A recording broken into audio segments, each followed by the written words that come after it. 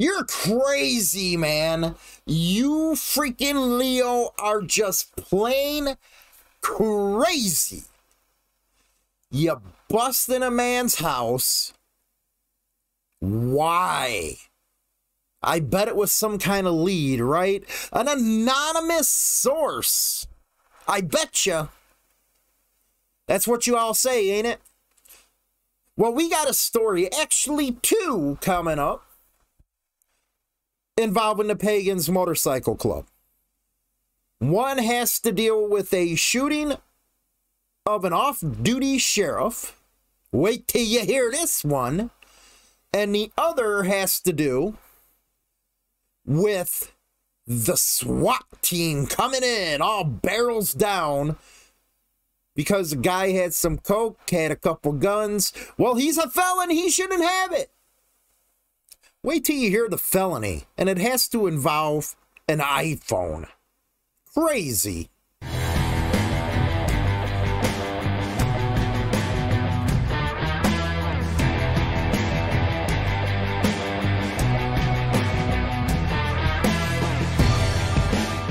Okay, you ready for this craziness? I'm ready for this craziness. Here we go. This is the craziness. And this happened out of Florida. And just listen to some of the parts that I'm going to be covering. Again, it's all in the description box. Say it. It's all in the description box. You know, like that Adam Sandler thing? It's all in the hips. Yeah, you know, get in the program. Anyway, Florida Keys News. Boy, I wish I was down there right now. It's freezing up here. A SWAT team raided a Key West home. A motorcycle gang member then went to jail, police said. And there you go. This is what they got. This is it.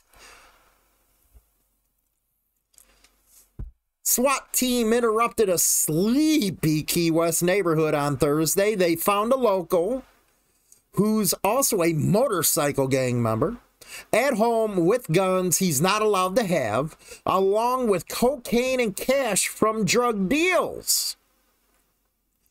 The Monroe County Sheriff's Office said he is a member of the Motor uh, Pagans Motorcycle Club. Sheriff Office investigators and the agency SWAT team, because you needed that, working with Key West police and federal agents. Oh, the alphabet agencies are here. Arrived with a search warrant at about 3:45 p.m. Meyer was found on property holding a firearm, but he dropped it when he saw law enforcement officers. That's what you're supposed to do. A woman and two children were also at the home, but no other arrests were made.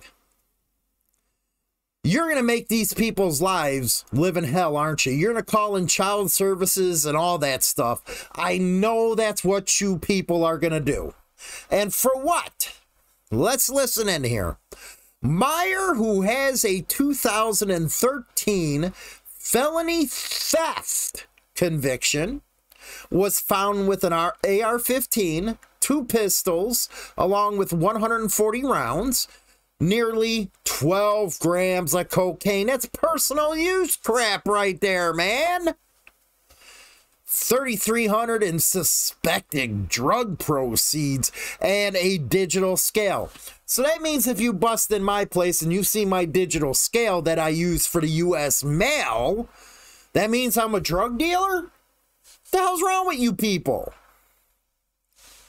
He was charged with possession of cocaine, possession of a firearm by a convicted felon, possession of ammunition by a convicted felon. Now, why is he a felon? In 2013, he pleaded guilty to theft of an iPhone that was worth 300 or more. So they took all his rights away over an iPhone. Was that your basis of raiding his house? Was somebody gave you info that he had some weapons or something? 12 grams is all you got? Now he is uh, in the county jail where he's being held without bond. Holy cow! Without bond? Are you serious? You got people being released all over the country with no bond for worse. You guys are crazy down there. You're insane. It's the definition of insanity. 3,300 in suspected drug proceeds? He must have been a Hooked on Phonics drug sale uh, dropout because that's not a lot, man. That could have been his rent. Car payment with rent. That's what I don't like about some of these stories that come out of these newspapers is they only give the one side. Now, what do I see here? I see an AR-15 broke down. I see, you know, a 9 looks like a 45 some club stuff. Not a lot of freaking money, man. Look at there. Usually, if you're in a drug bust, you're looking at 20s, 50s, 100s. No, we got a bunch of singles there. You people are downright insane. Let's go to this other one that has some uh, red flags up for me. Observer, reporter, boy, you guys are really with it all the time. Man to stand trial in New Year's Eve shooting at North Strabane Bar. Uh, now he's going to uh, stand trial on attempted homicide charges after he's accused of firing gunshots at an occupied vehicle following an altercation with an off duty sheriff. You know they carry guns, right? Let's just get that out there. Off duties, they carry it. Joseph Josnak, who is a Washington County Sheriff's deputy, but was off duty during the New Year's Eve celebration, testified they were enjoying the evening shortly before midnight when Frazee began throwing harsh words. When he walked over to a jukebox and then was getting hostile with them, Josic testified that Franzi told him he didn't care that he was a cop. And the two exchanged words. Now, you know what comes to mind? Copies. Remember that? When all those off duty undercovers just started everything and started beating on the pagans. Remember that? I got a long term memory here. Now, he testified that no punches were thrown, but they got into a wrestling match before getting separated. Jazek and the two other men got into a vehicle and drove away. He heard multiple gunshots and glass breaking. Give me a break. One of the passengers in the vehicle, Matthew uh, Poland, was struck in the right shoulder by either sharp metal or glass. Huh. Believable? Nah. Don't think so. Don't think so. Now, two witnesses testified that they saw a black handgun tucked into the back of Franzi's pants while he was wrestling Jazak. What precipitated the argument inside the bar between the two ultimately spilled out in the parking lot was not known. The cop indicated it might have been over a former love interest, and Nude also testified he believed Frazee was a member of the Pagans Motorcycle Club. What's his affiliation have to do with the fight, you jackass?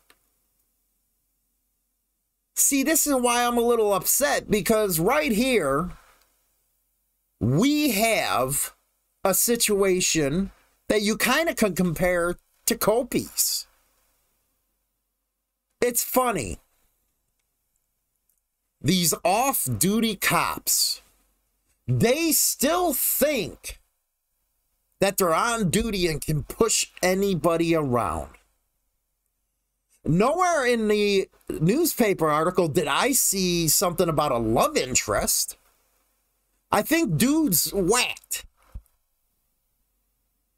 And then glass breaking?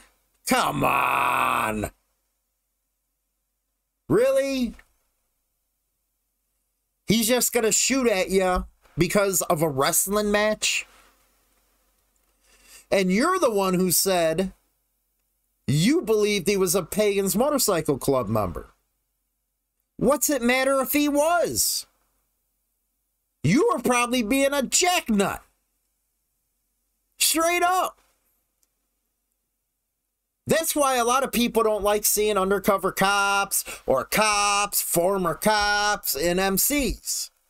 Because when you're about to get your ass handed to you, you put up that shiny steel freaking badge. I think that's going to save your ass. Just saying. This is ridiculous. Especially the first one.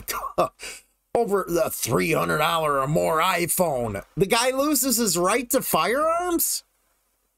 And gives you a reason to hit him? What kind of investigation did you have going on? It doesn't say. And then to go say suspected drug sales. You know better than that. He didn't have no money. He had dollars. And personal consumption. Something you probably walk up here in Illinois for. But you give him no bail and guarantee you're going to use the club in his trial. Guaranteed. Because that's what you guys do. Anyway, don't forget to go over to my other channel, Real Biker Talk, or Hollywood's Real Biker Talk, where we talk about all kinds of subjects. The one video that I have over there right now, premiering on 131, is about two wheels. Harley sucks, Indian sucks, they all suck. But who cares as long as it makes you happy? Like and subscribe. I'll catch you guys later. Rock on, man. We oughty.